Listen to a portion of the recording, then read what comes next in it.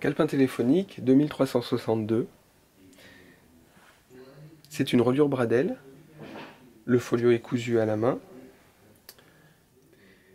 Le dos est en drap de lin, teinté avec, euh, cette fois, je crois que c'était de l'encre noire, de la vieille encre noire Waterman. Le hum, cuir est un patchwork de différents morceaux que j'ai collés. Ce n'est pas un patchwork euh, cousu, c'est un patchwork collé. Les décos sont des petits papillons en coquille d'œuf et des ajouts de petites peintures que je fais sur euh, du carton gris au pinceau à l'encre de Chine. Je vous montre un détail. Voilà, là sont des petites coquilles d'œufs et je les recouvre euh, ensuite avec de la gomme laque et du brou de noix. Il a un aspect assez lisse et usé, c'est un vieux cuir. Page de garde, papier recyclé 90 grammes, couleur saumon. Et à l'intérieur,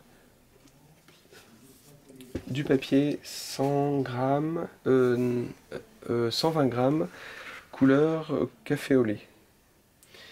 Au début, il y a un petit cahier de pages vierges, ce qui permet de coller des cartes ou d'écrire ce que l'on veut. Et ensuite, il y a des onglets. Il y a trois feuilles par lettre, à savoir six pages par lettre. C'est des lignes que j'ai pu imprimer avec euh, l'imprimante à la maison. Et ensuite, j'ai fait les onglets avec euh, une lame de cutter. Et avec un stylo, j'ai pu euh, dessiner les lettres comme ça. Et à la fin, un petit cahier de pages vierges.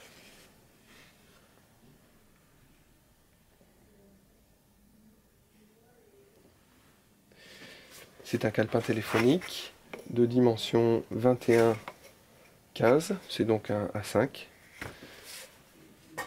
Et il pèse autour de 400 grammes.